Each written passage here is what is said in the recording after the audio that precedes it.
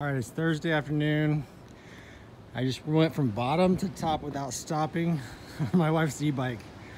This thing's an animal and it still has full charge after riding it from the camper to here.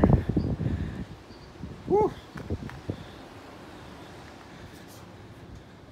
Now wish me safety getting down this mountain with manual brakes and beginner suspension. All right, this is the third time back to the top of the hill, non-stop. The e-bike is the way to go if there's no lift. So glad I brought it. it. It'll get down the green trails just fine. Maybe to try blue, I'm not sure. Bye guys.